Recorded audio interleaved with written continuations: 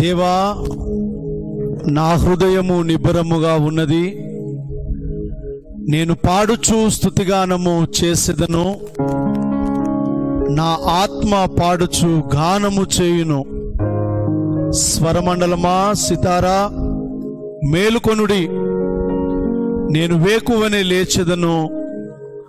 జనుల మధ్య నీకు కృతజ్ఞత స్థుతులు చెల్లించెదను. ప్రజలలో నిన్ను కీర్తించదను. యహోవా నీ కృప ఆకాశము కంటే ఎత్తైనది.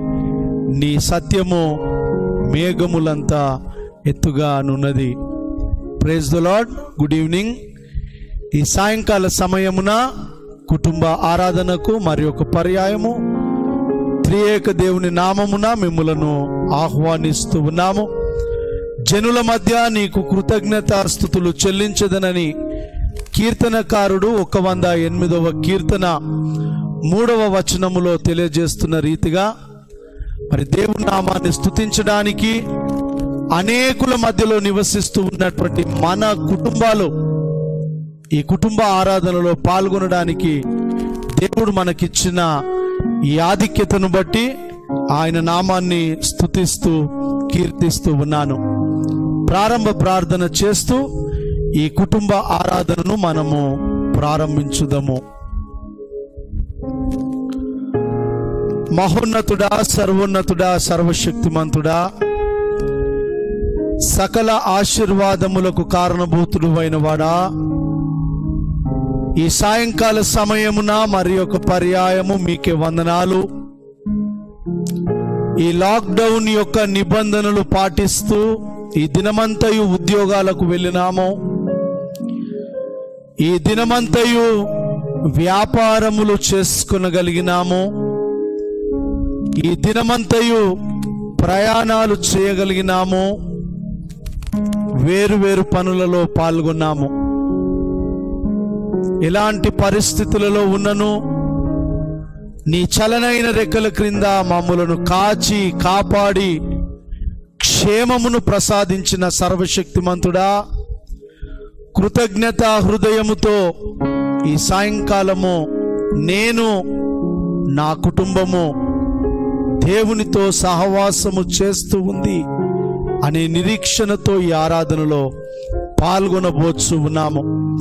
పాటల ద్వారా ప్రార్థనల ద్వారా వాయిద్యముల ద్వారా చప్పట్ల ద్వారా పరిశుద్ధ వాక్యము ద్వారా ఇదిగో మీ నామమును స్థుతించే కృప మీరు మాకు ప్రసాదించుమని ఏసు నామములోని అడిగి వేడుకొనుచున్నాము తండ్రి.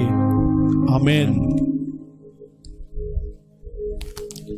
ఈ సాయంకాల సమయమున దేవుని నామాన్ని స్తుతిస్తూ మనమందరము కూడా ఈ ఆరాధనను ప్రారంభిస్తూ ఉండగా ఆంధ్ర క్రైస్తవ కీర్తనలో నుండి మూడు వందల ముప్పై ఐదవ సంగీతము ఓయస్సు రక్షక నీ పిలుపు విందును.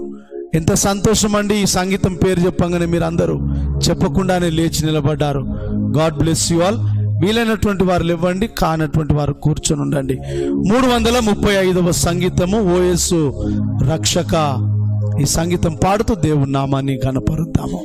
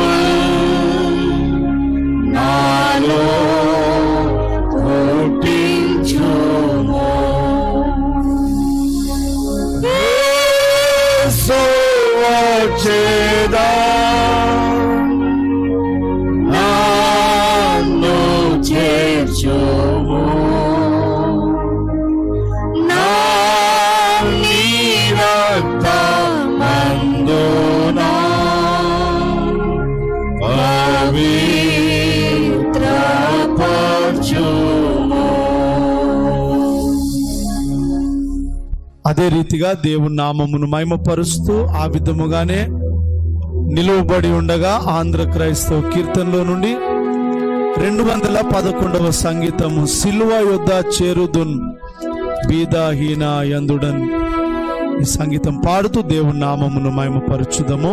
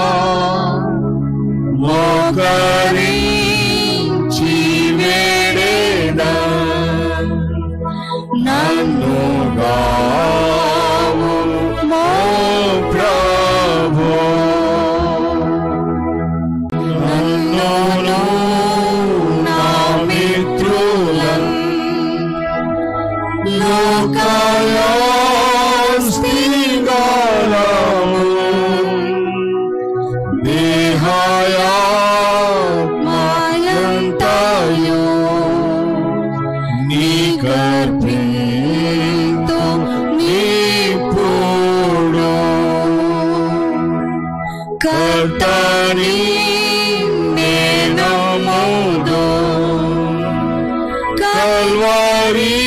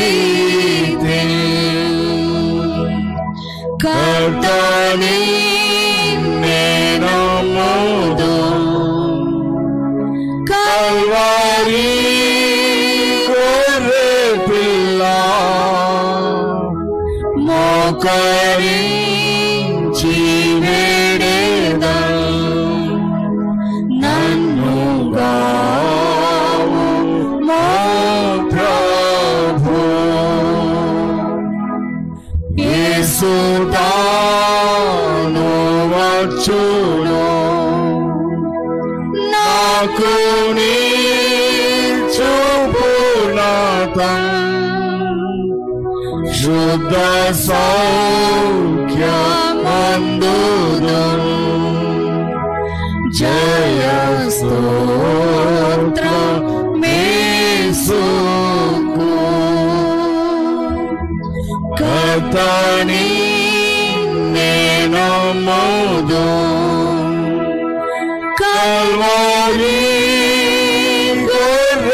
पिला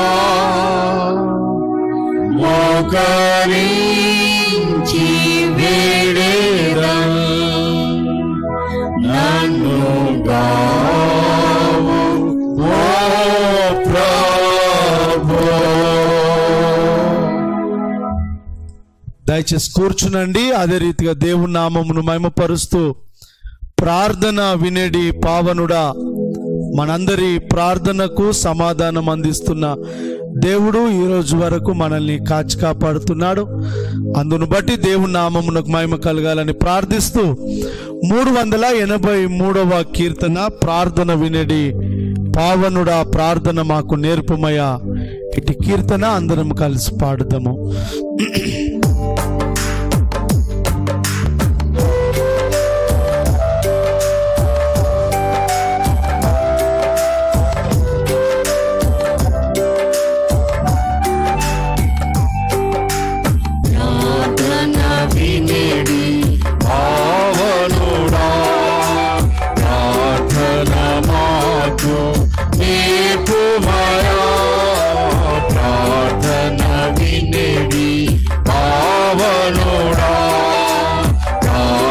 ప్రార్థన నీకు భయా. శ్రేష్టమైన భావము గూర్చి శిష్య బృందముకు నేర్పితివి. శ్రేష్టమైన భావము గూర్చి శిష్య బృందముకు నేర్పితివి. పరముడ నిన్ను అనుదించెదము పరలోక ప్రార్థన నేర్పుమయా ప్రార్థన వినేది కావనుడా. ప్రార్థన మాకు నేర్పుమయా పరమ దేవుడావని తెలిసి పరములెత్తి జంటగా మోచి పరమ దేవుడావని తెలిసి పరములెత్తి జంటగా మోచి శిరమును వంచి సరిదను వేడిన సుందరి ప్రార్థన నేర్పుమయా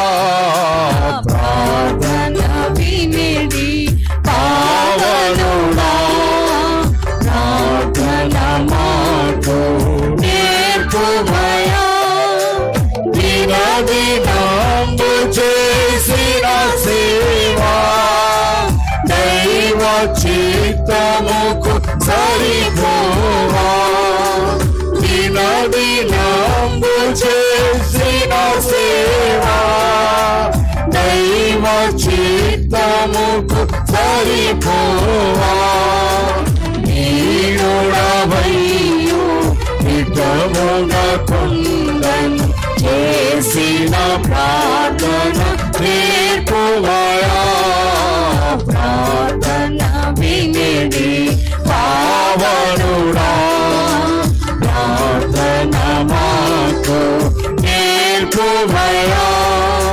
శత్రుముఖనిను చూచుకొని సిలువపై నిన్ను జపగను శత్రుముఖనిను చూచుకొని సిలువపై నిన్ను జపగను శాంతముతోని శత్రుల భ్రోవన కలిపిన ప్రార్థన నీకుమయా ప్రార్థన వినిది పావనుడా. మాకు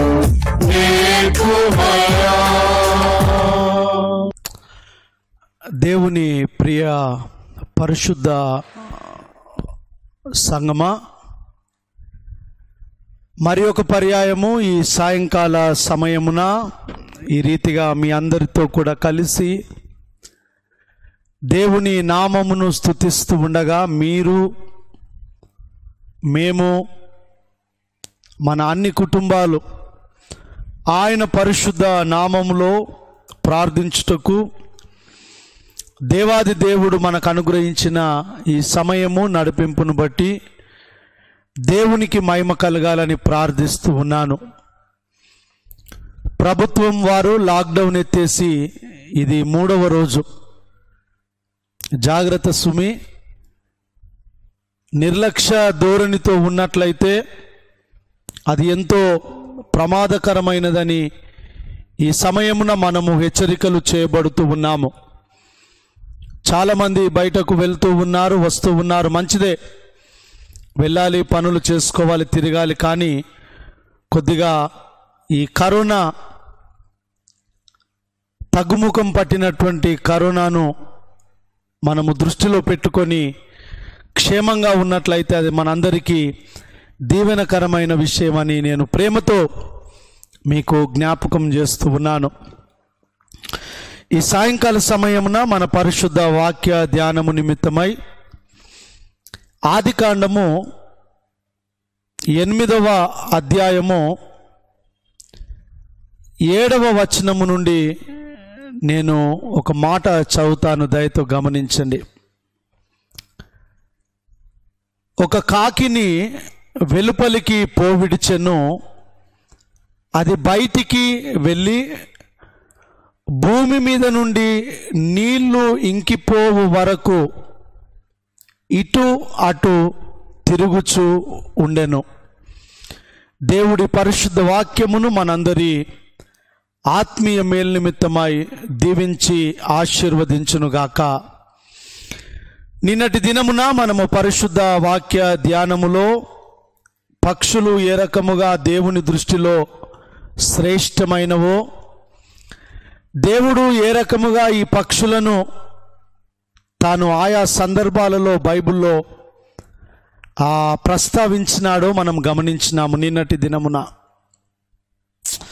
ఈ సాయంకాలము మనము వాక్య ధ్యానములోనికి వెళ్ళకముందు నిన్నటిది ఒకటి రెండు విషయాలు నేను మీకు జ్ఞాపకం చేస్తాను. దేవుడైన యహోవా తన ప్రజలను గద్ద ఏ రకముగా తన పిల్లలను రెక్కల మీద తీసుకొని వెళ్తుందో అదే రీతిగా తన రెక్కల క్రింద ఏ రకముగా ఒక పక్షి తన పిల్లలను కాపాడుతుందో అదే రీతిగా నీవు నేను ఆరాధించే ఈ సృష్టికర్త అవి పర్వతములైనను చెట్లైనను వరదలైనను వర్షాలైనను భయంకరమైన ప్రమాదాలు విపత్తులైనను తన రెక్కల మీద మనల్ని మోసుకొని వెళ్తూ ఉన్నాడు. అవసరము వచ్చినప్పుడు తన రెక్కల క్రింద మనలను కప్పుతూ ఉన్నాడు కాపాడుతూ ఉన్నాడు. ఈరోజు మనము వాక్య ధ్యానము నిమిత్తమై ఈ యొక్క పక్షి ఈ పక్షులలో మొదటి పక్షిగా కాకిని గురించి కొన్ని విషయాలు నేను మీకు జ్ఞాపకం చేస్తాను. కాకి అనగానే మనకు గుర్తుకు వచ్చేది బంధువులు. సాధారణంగా మనం ఏమంటామంటే ఈ కాకి ఎప్పుడైతే మన ఇంటి దగ్గర వచ్చి గోడ మీద కూర్చోనో ఇంటి ముంగట కనబడితే మనము ఏమని సాధారణంగా తలస్తామంటే మన ఇంటికి ఎవరో బంధువులు వస్తున్నారని. రెండు వేల పంతొమ్మిదవ సంవత్సరం వరకు కాకి వచ్చి మన ఇంటి ముందు దొరికితే బాగానే ఉంది కానీ ఇప్పుడు ఈ రోజులలో కాకి కనబడితే దాన్ని అందరం కూడా తరిమి తరిమి కొడతాం. కారణం ఏంటంటే నువ్వు మా ఇంటికి రాకు నేను మీ ఇంటికి రాను. ఇప్పుడున్నటువంటి పాలసీ అదే. వాక్యం వింటున్నటువంటి మీరు కూడా జాగ్రత్తగా వినండి. అంత బాగైందని బంధువులు ఇళ్ళలో తిరగకండి. వారు ఇబ్బంది పడతారు. లేదా వారిని మీ ఇంటికి కూడా పెద్దగా ఆహ్వానించకండి. కొన్ని రోజుల దాకా. కాకిని చూడగానే మనకు గుర్తుకొచ్చేది ఈ ప్రత్యేకమైనటువంటి దినాలు. పక్షులతో ఎందుకు దేవుడు మనల్ని పోలుస్తూ ఉన్నాడంటే అవి విత్తవు కోయవు కూర్చుకొనవు. కానీ పరలోకపు తండ్రి వాటిని ప్రేమిస్తూ ఉన్నాడు. మరి మీరు వాటికంటే దేవుని యొక్క స్వరూపములో చేయబడినటువంటి నీవు నేను వాటికంటే ఎంతో శ్రేష్టమైన వారమని దేవుని యొక్క వాక్యము మనకు జ్ఞాపకము చేస్తూ ఉంది. ఆది కాండము ఎనిమిదవ అధ్యాయము ఏడో వచ్చిన ప్రకారము ఎన్నిసార్లు ఆ కాకిని బయటకు పంపినాడో ఎన్నిసార్లు అది తిరిగి ఇంటికి వచ్చిందో మనకంతగా ఖచ్చితంగా అక్కడ ప్రస్తావించబడలేదు. కానీ ఏమంటాడంటే నీళ్ళు ఇంకిపో వరకు ఇటు అటు తిరుగుచుండెను అనేటటువంటి మాట జ్ఞాపకము చేస్తాడు. నిన్న మొన్నటి దినమున మనందరి వాట్సప్లో ఒక ప్రాముఖ్యమైనటువంటి ఇమేజ్ చాలామంది షేర్ చేసినారు. ఏంటిదంటే the reopening is very dangerous అనే టైటిల్ పెట్టినారు. రీఓపెనింగ్ ఈజ్ వెరీ డేంజరస్ నోవాహు నలభై రోజులు పడవలో ఉండి భయంకరమైనటువంటి జలప్రలయము సంభవించిన తర్వాత ఎప్పుడైతే బయటకు వెళ్ళాలని అనుకున్నాడో step out to step out from the boat or ark ఆ పడవలో నుండి బయటకు వెళ్ళాలన్నప్పుడు ఎన్నో రకాలుగా ఆలోచనలు చేస్తున్నాడు ఎన్నో ప్రికాషన్స్ తీసుకున్నాడు. కాకిని పంపించినాడు. ఆ పిదప మనం చూసినట్టయితే పావురము. పావురాన్ని గురించి రేపటి వాక్య ధ్యానములో మనము ధ్యానము చేద్దాము. కానీ వాటన్నిటిని పంపించి కన్ఫర్మ్ చేసుకున్న తర్వాతనే బయట ప్రమాదము లేదు అని అనుకున్న తర్వాతనే నోవాహు అందులో ఉన్న అందరూ కూడా బయటకు వెళ్ళినారు. అదే రీతిగా అదే రీతిగా జాగ్రత్తగా వినండి. కరోనా బయట వెళ్ళిపోయింది అని లాక్డౌన్ ఎత్తేసినారు కానీ నీవు నేను బయటకు ఇష్టం వచ్చినట్టు వెళ్ళడానికి వీలు లేదు. నోవాహు ఏ రకంగా అన్ని పరీక్షించి క్షుణ్ణంగా గమనించి ప్రమాదము కాదు అని తెలుసుకున్నాడో అప్పుడు మాత్రమే అతడు అడుగు బయట పెట్టినాడు. మనము కూడా బయటకు వెళ్ళినప్పుడు అనేకులు ఆ వ్యాధితో ఉన్నటువంటి వారు మనలో మన మధ్యలో మన చుట్టుముట్టు తిరుగుచున్నారనే విషయము మర్చిపోకుండా జాగ్రత్తగా ఉందాము. కాకి ఈ కాకి మన భారతదేశం యొక్క సంప్రదాయ ప్రకారం మనం చూసినట్లయితే ఆ భారతదేశ సంప్రదాయం ఏంటంటే ఎవరైనా పెద్దలు చనిపోయినప్పుడు పిండం పెడుతూ ఉంటారు. ఈ పిండం పెట్టినప్పుడు వారి యొక్క ఉద్దేశం ఏంటంటే భారతదేశ సంప్రదాయ ప్రకారం కాకు కాకి వచ్చి దాన్ని తినాలి. ఆ కాకి ఆ పిండాన్ని తిన్నప్పుడు మా తండ్రి ఇదిగో చనిపోయిన మా పితరుడు వచ్చి దానిని తిన్నాడని తృప్తి పడుతూ ఉంటారు. భారతదేశ సంప్రదాయ ప్రకారము పితరులకు పోల్చబడుతున్నటువంటి ఆ కాకులను పోషించేటటువంటి దేవుడు మన దేవుడై ఉండటం మనకెంతో దీవెనకరమైనటువంటి విషయం. ఒక మాట నేను చదువుతాను చూడండి. యోబు గ్రంథము ముప్పై ఎనిమిదవ అధ్యాయము. యోబు గ్రంథము ముప్పై ఎనిమిదవ అధ్యాయము.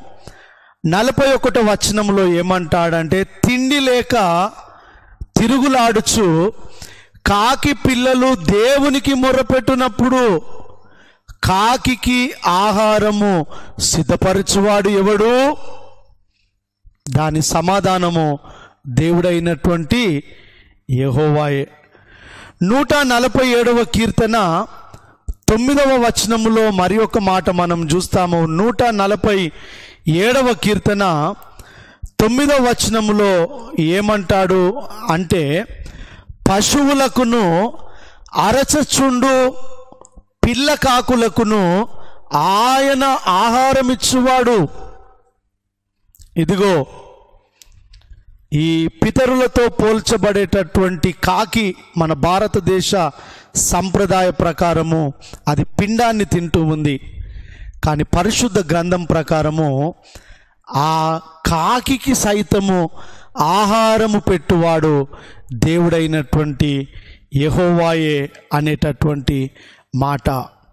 అరచచుండు పిల్ల కాకులకు దీనిని ఇంగ్లీష్ ట్రాన్స్లేషన్లో మనం చూసినట్లయితే క్రై అనేటటువంటి పదము వాడబడినది. అరచుచుండు. ఏడుస్తూ ఉన్నటువంటి కాకులకు భోజనము పెట్టువాడు దేవుడైన యహోవాయే. అరచుచుండు కాకి పిల్లలు అనగానే మనకు ఒక మాట గుర్తుకొస్తుంది మన భారతదేశంలో. ముఖ్యంగా తెలుగులో మనము ఈ పదము చాలా సందర్భాలలో వాడుతూ ఉంటాము. ఏంటిది అది అంటే కాకిగోళ అనే పదం వాడుతుంటాము. ఈ కాకిగోళ అనేటటువంటి పదానికి రెండు రకాల అర్థాలు ఉన్నాయి ఒకటి ఒక కాకికి ఎప్పుడైనా ఆహారము దొరికినప్పుడు ఇతర కాకులను పిలిచేటప్పుడు చాలా కావు కావు కావు కావు కావు అని వస్తుంది it invites the other crows ఇతర కాకులను పిలుస్తుంది ఒకటి. రెండవది ఒక కాకి మరణించినప్పుడు కూడా ఆ మరణించిన కాకిని చూసినటువంటి కాకి ఎంత భయంకరంగా గోల చేస్తుందంటే అందుకోసమే దీన్ని మనం ఏమంటామంటే ఒక రకమైన ఇరిటేటింగ్ సౌండ్. విసుగు తెప్పించేటటువంటి అరుపులు ఆ కాకి వేసినప్పుడు మన తల్లిదండ్రులు పెద్దలు ఏమని వాడతారంటే ఒరే పిల్లలారా కాకి గోల చేయకండి అంటాడు. ఎందుకంటే మన పిల్లలు అప్పుడప్పుడు అంతా అరుస్తూ ఉంటారు. ఈ రెండు వేల ఇరవై మార్చి నెల మొదలుకొని ఈ రోజు వరకు ప్రతి ఇంట్లో కూడా ఒక రకమైన కాకి గోలలు మనం అందరం అనుభవిస్తూనే ఉన్నాము. ఈ వాక్యం వింటున్న పిల్లలు ఒక్కసారి మీ అమ్మ నాయన ముఖం చూడండి వాళ్ళు ఎంత కోపంగా చూస్తుండ్రో మిమ్మల్ని. మీరింట్లో కాకి గోల చేసేటటువంటి గోలను వన్ ఇయర్ దాటిపోయింది మీతో నేగలేకపోతున్నాము. కాకి గోల. మనము ఈ కాకికి సంబంధించి భారతదేశ సంప్రదాయ ప్రకారము మూడు ప్రాముఖ్యమైనటువంటి ఉద్దేశాలు ఉన్నాయి. మనము బయటకు వెళ్ళినప్పుడు కాకి అరిస్తే శుభసూచకం అని అంటారు. ఇండియన్ ఆ ట్రెడిషన్ ప్రకారం. రెండవది నిండా నీళ్ళతో ఉన్నటువంటి కుండ మీద ఒకవేళ కాకి ఉంటే మనము త్వరగా ధనవంతులం అయిపోతామని భారతదేశ సంప్రదాయం. మూడవది కాకి ఒకవేళ మన తల మీద తంతే ఏదో ఒక ప్రమాదము పొంచి ఉన్నదన్నది మన ఇండియన్ ట్రెడిషన్ ఈ కాకిని గురించినటువంటి మొదటిది. మనము బయటకు వెళ్ళేటప్పుడు కాకి అరిస్తే అది మంచిదంటారు. రెండవది నిండా నీళ్ళతో ఉన్నటువంటి కుండ మీద కాకి ఒకవేళ వాలితే మనం వెంటనే ధనవంతులం అవుతామని అంటారు. ఈ రోజులలో మన ఇళ్ళలో కుండలు లేవు. మూడవది కాకి మన తల మీద తంతే ఒక ప్రమాదము పొంచి ఉన్నది అనేటటువంటి మాట మనము జ్ఞాపకము చేయబడుతూ ఉన్నాము. తల్లిదండ్రుల మాట విననటువంటి వారిని కూడా ఇదిగో కాకితో పోలుస్తూ ఒక మాట అంటాడు చూడండి. సొలమోను మహారాజు సామెతల గ్రంథము ముప్పైవ అధ్యాయము సామెతల గ్రంథము ముప్పైవ అధ్యాయము పదిహేడు వచనంలో ఏమంటాడంటే తల్లిదండ్రుల మాట విననటువంటి పిల్లలను గురించి. తండ్రిని అపహసించి తల్లి మాట విననుల్లని వాని కన్ను లోయ కాకులు పీకును పక్షిరాజు పిల్లలు దానిని తినును అనేటటువంటి మాట. నోవాహేమో కాకిని బయటకు పంపిస్తాడు. లోకము ఆ పరిస్థితి ఏ రకంగా ఉందో చూడడానికి. ఇక్కడ చూస్తేనేమో తల్లిదండ్రుల మాట విననటువంటి పిల్లలు ఈ వాక్యం వింటున్నటువంటి పిల్లలు మీ తల్లిదండ్రులతో కూడా కలిసి ఈ కుటుంబ ఆరాధనలో పాల్గొనుచున్నటువంటి పిల్లలు వినండి. తల్లిదండ్రుల మాట వినే మంచి పిల్లలుగా మీరు ఉండాలి. నూట నలభై ఏడవ కీర్తన తొమ్మిదవ వచనంలో ఏమంటాడంటే పిల్ల కాకులకును ఆహారము ఇచ్చుచున్నటువంటి వాడు. సరే ఈ కాకిని గురించి మనము ఇంకా లోతుగా ధ్యానం చేసినట్లయితే కాకిని దేవుడు ఏ రకముగా వాడుకున్నాడో ఎంత అద్భుత రీతిగా అది దేవుని యొక్క ఆజ్ఞానుసారముగా తన యొక్క ప్రియ సేవకులను పోషించిందో కాకికి ఆహారము పెట్టువాడు ఆయనే. అవసరము వస్తే తన సేవకులను పోషించడానికి దేవుడు వాడుకున్నటువంటి సాధనము కూడా కాకే. ఒకసారి మనము రెండు వందల తొంభై ఎనిమిదవ పూటకు వెళ్దాము. రెండు వందల తొంభై ఎనిమిదవ పేజ్ పరిశుద్ధ గ్రంథములో మొదటి రాజులు పదిహేడవ అధ్యాయము నాలుగవ వచనములో ఒక మాట జ్ఞాపకం చేస్తాడు చూడండి. మొదటి రాజులు పదిహేడవ అధ్యాయము నాలుగవ వచనములో ఏమని ఉన్నదో నేను చదువుతాను చూడండి. ఆ వాగు నీరు నీవు త్రాగుదువు అచ్చటికి నీకు ఆహారము తెచ్చునట్లు నేను కాకోలములకు ఆజ్ఞాపించి తినని అతనికి తెలియజేయగా ఆరో వచనం చూడండి. అక్కడ కాకోలములు ఉదయమందు రొట్టెను మాంసమును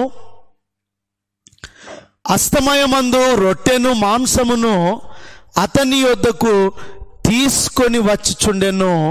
అతడు వాగు నీరు త్రాగుచు వచ్చెను అనేటటువంటి మాట ఏలియా ప్రవక్తను గురించి ప్రస్తావించబడ్డట్లుగా మనం చూస్తాము. కాకి అనగానే మనందరికీ కోపం. దాన్ని చూడగానే ఆ వెలగొట్టడానికి ప్రయత్నం చేస్తాం. అలాంటి ఒక రకంగా చెప్పాలంటే ఇరిటేటింగ్ బర్డ్ ఆ ఇరిటేటింగ్ పక్షిని దేవుడు నోవాహు ద్వారా ఈ లోకము ఏ రకంగా ఉందో చూడడానికి వాడుకున్నాడు మొదటిది. రెండవది అలాంటి కాకికి ఆహారము పెట్టే దేవుడుగా ఉన్నాడు. మూడవది తన ప్రియ దాసుడైనటువంటి ఏలియా ప్రవక్త ఆకలితో ఉన్నప్పుడు అతనిని పోషించడానికి చక్కగా కనబడే చిలుకను పిలుచుకోలేదు దేవుడు. చక్కటి స్వరము కలిగిన కోకిలను పిలుచుకోలేదు దేవుడు. లేదా చక్కగా ఎంతైనా ఎత్తునకు ఎగరగలిగినటువంటి ఆ యొక్క పక్షిరాజును దేవుడు ఎన్నిక చేసుకోలేదు. ఎంత విచిత్రం చూడండి. అందరూ అనుమానించే పక్షి. మీరు చూడండి గుల్లెరితో మీకు పక్షిని కొట్టే స్నేహితులు ఎవరన్నా ఉంటే అడగండి వాళ్ళను. ఏ పక్షినైనా కొట్టగలుగుతారు కానీ కాకిని కొట్టడం అంత ఈజీ కాదు. అది తల అటు పెట్టి ఇంకోవైపు గమనిస్తూ ఉంది. హుషారుతనం ఎక్కువ దానికి. అలాంటి కాకిని పితరులకు అన్నము పెడితే ఇదిగో ఒక శనిగా చూడబడుతున్నటువంటి ఆ కాకి ఇక్కడ దేవుడైనటువంటి యహోవా వాడుకుంటున్నాడు. దీని అర్థం ఏమిటి అంటే దేవుడైనటువంటి యహోవాకు ఏది కూడా అసాధ్యమైనది లేదు. హలెలుయ హలెలుయ దేవుడైనటువంటి యహోవాకు అసాధ్యమైనటువంటిది ఈ లోకములో ఏది కూడా లేదు. నీ వాకలితో ఉన్నావా? ఆర్థిక ఇబ్బందుల్లో ఉన్నావా? నీ పిల్లలు నీ మాట వినట్లేరనే దుఃఖములో ఉన్నావా? నా భర్త లేదా నా భార్య లేదా నా తల్లిదండ్రులు లేదా నా అత్తమామలు లేదా నా అన్నదమ్ములు లేదా నా సంఘము నాకెవ్వరు లేరండి అనే దిగులుతో ఉన్నావా? ఏలియా ప్రవక్త కూడా అడవిలో ఒంటరిగా ఉన్నప్పుడు దేవుడు ఏలియాకు ఈ కాకోలము ద్వారా తృప్తిగా భోజన పదార్థం పెట్టినాడు. ఏమిటి ఆ భోజనం అంటే తోటకూర కాదు పాలకూర కాదు. ఏంటిదండి అది? రొట్టె మాంసము. He was fed by God దేవుని ద్వారా పోషింపబడ్డాడు ఏలియా. కాకులకు ఆహారం ఇస్తున్న దేవుడు గనకనే ఆ కాకి దేవుని యొక్క ఆజ్ఞకు లోబడింది. చేపలకు ఆహారం ఇస్తున్నవాడు ఆయనే గనక చేపకు ఆజ్ఞ ఇచ్చినందుకు యోనాను చేప తన కడుపులో దాచిపెట్టుకుంది సింహాలకు ఆహారం ఇచ్చుచున్నవాడు ఆయనే గనుక. దానియేలు సింహాల బోనులో పడవేయబడినప్పటికీ ఆ సింహముల నోర్లు మూయాలి అని దేవుడు ఆజ్ఞ ఇచ్చినప్పుడు అవి ఆయన ఆజ్ఞకు లోబడినవి. కాకులను చేపలను సింహాలను పోషిస్తూ ఉన్నటువంటి దేవుడు ఇదిగో ఈ సాయంకాల సమయమున నిన్ను నీ కుటుంబాన్ని కూడా పోషిస్తూ ఉన్నాడు పోషిస్తాడు అనేటటువంటి మాట ఏమాత్రము కూడా మనము మరచిపోకూడదు అనేటటువంటి మాట ఈ సమయమున మనము జ్ఞాపకం చేయబడుతున్నాము. చివరిదిగా రెండు రెఫరెన్స్లు నేను చదివి ఈ వాక్య ధ్యానాన్ని ముగిస్తాను. సంఖ్యాకాండము పదకొండవ అధ్యాయము పద్దెనిమిదవ వచనము నుండి గల మాటలను మనం చూసినట్లయితే ఇస్రాయేలీలు మాకు ఆహారము లేదు. మేము ఈ ఎడారిలో ఈ అడవిలో చావడానికి వచ్చినామా? అని దేవుని మీద వారు సనుక్కున్నప్పుడు పద్దెనిమిదో వచనంలో మనం గమనించినట్లయితే మిమ్మును మీరు రేపటికి పరిశుద్ధపరచుకొనుడి మీరు మాంసము తిందురు యహోవా నిన్ను ని- వినునట్లు ఏడ్చి మాకు ఎవరు మాంసం పెట్టుదురని మీరు ఏడుస్తూ ఉన్నారు గనక అక్కడ ఏమని జ్ఞాపకం చేస్తాడంటే ఒక దినము కాదు రెండు దినములు కాదు పంతొమ్మిదవ వచనము. ఐదు దినములు కాదు పది దినములు కాదు ఇరవై దినములు కాదు. ఇదిగో ఒక నెల దినముల వరకు అనగా అది మీ నాసికా రంధ్రములో నుండి వచ్చి మీకు అసహ్యము పుట్టు వరకు దానిని తిందురు. ఏలయనగా మీరు మీ మధ్యనున్న యహోవాను నిర్లక్ష్యము చేసి ఆయన సన్నిధిని ఏడ్చిరి. దేవునికి కోపం వచ్చి ఏమంటాడంటే ఆ పూరేళ్ళకు పిట్టలకు ఆజ్ఞ ఇస్తాడు. అవి ఈ యొక్క సముద్రము నుండి వచ్చి ఇస్రాయేలీలకు ముప్పై ఒకటో వచనం చూద్దాము. తరువాత యహోవా సన్నిధి నుండి ఒక గాలి బయలుదేరి సముద్రము నుండి పూరేలను రప్పించి పాలెము చుట్టూ ఆ ప్రక్కను ఆ ప్రక్కను ఈ ప్రక్కను దిన ప్రయాణమంత దూరముగా భూమి మీద రెండు మూరల ఎత్తు వాటిని ఆయన పడజేసినాడు. రెండు మూరల ఎత్తు ఒక దినమంత ప్రయాణము చేసేటంత దూరము ఈ పూరెలను పిట్టెలను పడేసినాడు. పడేస్తూ ఏమంటున్నాడంటే ఐదు రోజులు కాదు ఒక్క రోజు కాదు రెండు రోజులు కాదు ఐదు రోజులు కాదు పది రోజులు కాదు ఇరవై రోజులు కాదు నెల రోజులు తినండి. నాసిక రంధ్రము నుండి వచ్చి మీకు అసహ్యము అనగా ఎగుటు పుట్టినంత వరకు. అప్పుడప్పుడు మనం తినేటప్పుడు మన ఇళ్ళలో కొందరు ఉంటారు. చాలా తింటారు తినొద్దని నేను అంటలేను. అది అయిపోతుంటుంది అమ్మ ఇంకా ఇసుకర అంటారు. అయిపోతుంది అమ్మ ఇంకా ఇసుకర అంటారు. అప్పుడప్పుడు అమ్మ నాయన కోపం వచ్చి అరే ఎంత తింటావురా? అని అంటారు. పిల్లలకు తిండి పెట్టొద్దని నేను అంటలేను ఆ మాట నేను అన్నానని మీరు ఎక్కడ అనకండి దయతో. అందరూ మన పిల్లల్ని పోషిస్తున్నాం మంచిదే వాళ్ళు తినాలి. దేవుడైనటువంటి యహోవాకు ఇస్రాయేలీల మీద ఎంత కోపం వచ్చిందంటే మీ ముక్కులో నుండి నాసికరంధ్రము నుండి అసహ్యము పుట్టినంత వరకు తినండి నేను ఆ పిట్టలకు ఆజ్ఞ ఇస్తాను. ఈ సాయంకాల సమయమున దేవుని ప్రియ పరిశుద్ధ సంగమ మూడు విషయాలు. బయట ప్రపంచము భూమి ఆరినదా లేదా అని పరీక్షించడానికి వాడబడిన మొదటి పక్షి కాకి. రెండవది ఇదిగో అరచుచుండు కాకి పిల్లలకు ఆహారము పోషించువాడైనటువంటి యహోవా దృష్టిలో ఉన్నటువంటి ఈ కాకి.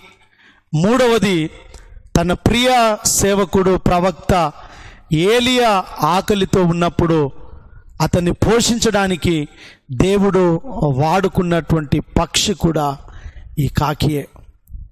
మరి ఈ కాకిని దీవించినటువంటి దేవుడు ఈ కాకిని తన సేవలో వాడుకున్నటువంటి దేవుడు మనకు ఈ సమయమున ఏమి జ్ఞాపకం చేస్తున్నాడంటే ఆయన ఆజ్ఞకు లోబడేటటువంటి ఈ పక్షులు ఆయన ద్వారా పోషింపబడుతున్నటువంటి ఈ పక్షులు అవి ఎట్టి పరిస్థితులలో కూడా విత్తవు.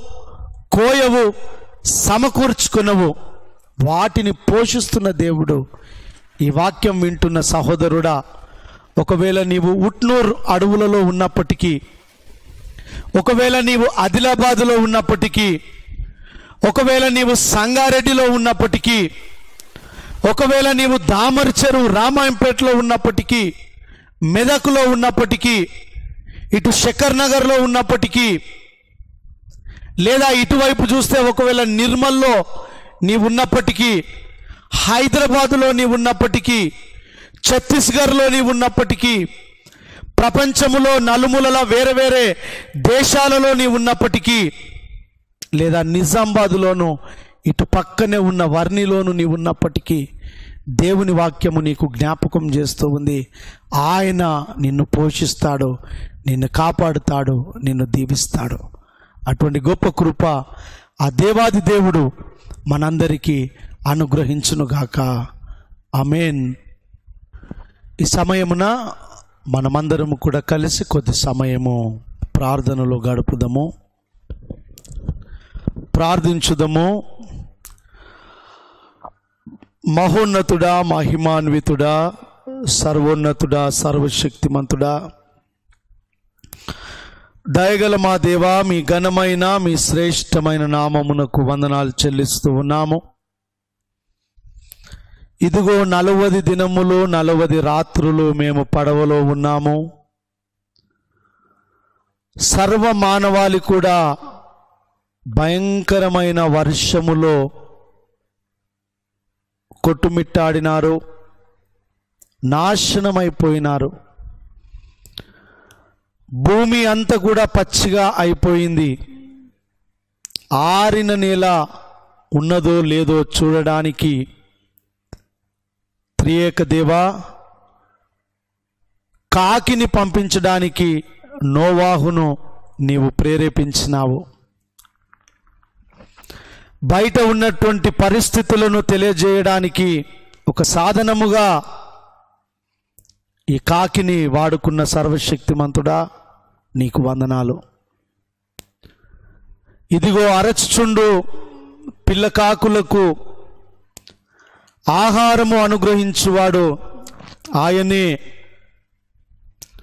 తిండి లేక కాకి పిల్లలు దేవునికి ముర్రపెట్టినప్పుడు వాటిని పోషించువాడు. ఆయనే అని నీ వాక్యము ద్వారా మాకు జ్ఞాపకం చేసినావు.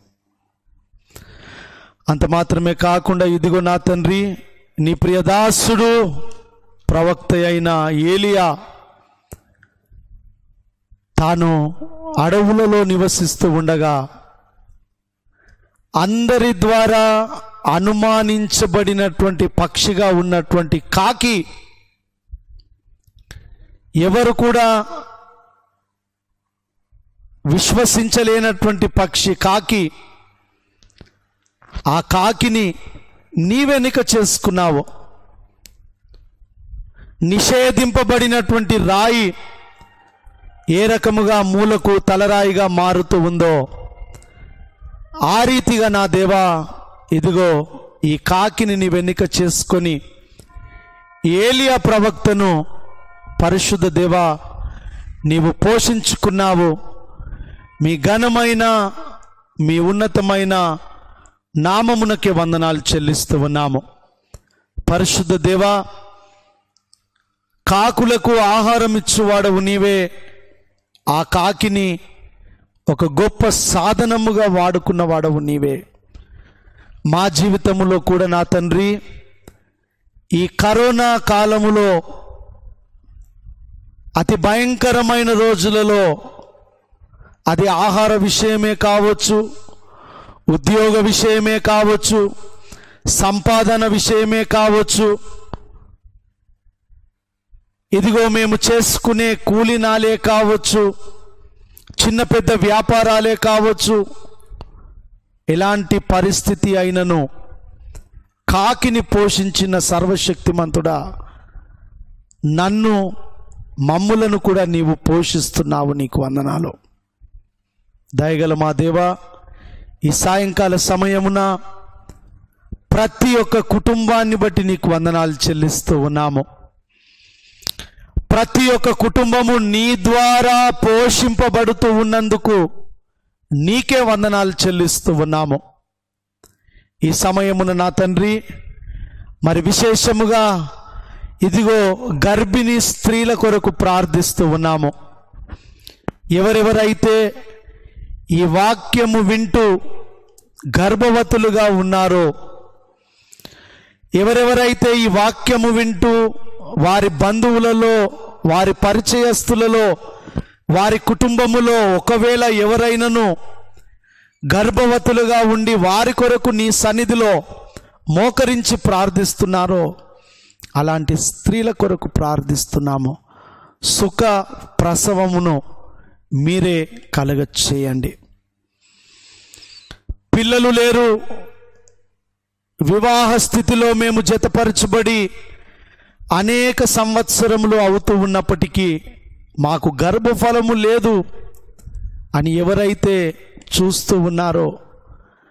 దేవా అది ఒకవేళ ఆస్ట్రేలియా దేశమైనప్పటికీ అమెరికా దేశమైనప్పటికీ ఇదిగో సింగపూర్లో ఉన్నటువంటి వారు అయినప్పటికీ లేదా శ్రీలంకలో ఉన్నటువంటి వారైనప్పటికీ అటు ఇంగ్లాండ్లో ఉన్నటువంటి వారైనప్పటికీ ప్రపంచములో ప్రతి దేశములో ఉన్నటువంటి విశ్వాసులముగా కుటుంబాల వారముగా అలాంటి భార్య భర్తల కొరకు మేము ప్రార్థిస్తున్నాము.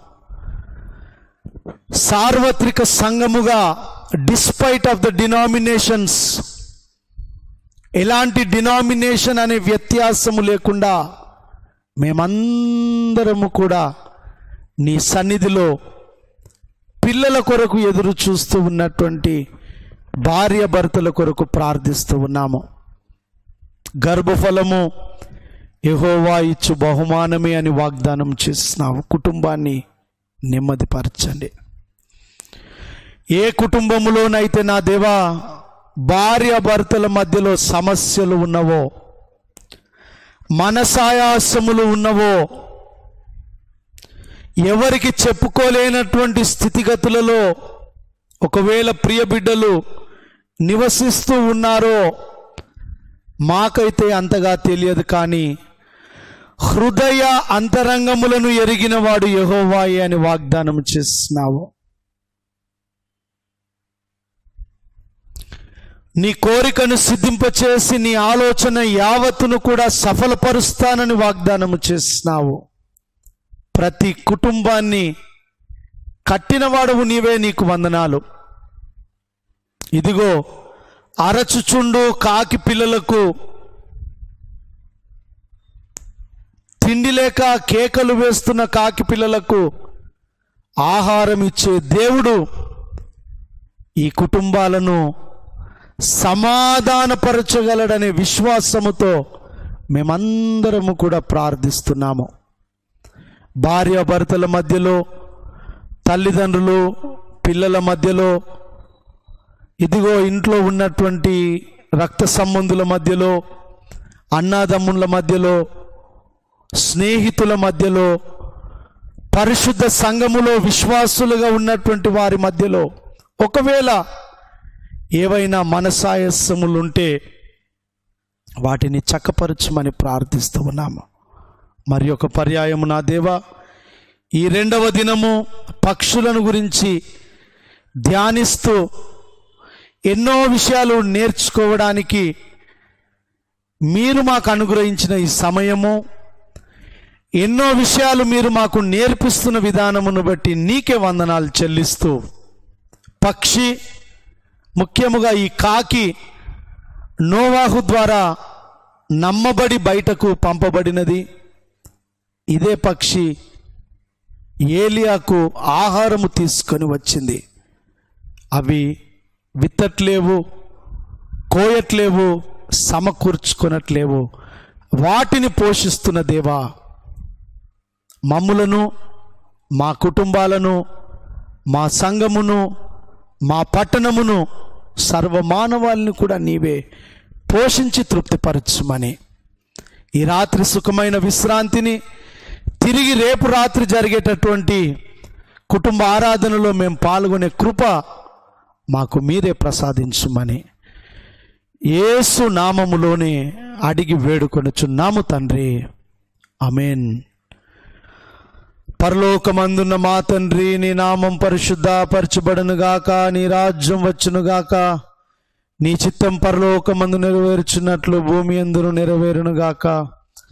మా అనుదినాహారం నేడు మాకు దయచేయుము. మా ఎడల అపరాధములు చేసిన వారిని మేము క్షమించిన ప్రకారము మా అపరాధములను క్షమించుము. మమ్మల్ని శోధనలోనికి తేకా తప్పించము తప్పించుము. ఎందుకనగా రాజ్యము శక్తియు మహిమయు నిరంతరము నీవే ఉన్నవి స్వామి. ఆమెన్. తిండి లేక కాకి పిల్లలు దేవునికి మొరపెట్టినప్పుడు వాటికి ఆహారమును అనుగ్రహించే సృష్టికర్త అయినటువంటి దేవుడు మనలను మన కుటుంబాలను మన పరిశుద్ధ సంఘములను సర్వమానవాళిని ముఖ్యముగా ఇంకా ఎవరైనాను కరోనాతో బాధపడుతూ ఉన్నట్లయితే ఆ బిడ్డలకును ఇతర వ్యాధులతో బాధపడుతూ ఉన్నటువంటి మన ప్రియులకును బలమును శక్తిని ఆరోగ్యమును కలగజేసి ముందుకు నడిపించును గాక. ఆమెన్.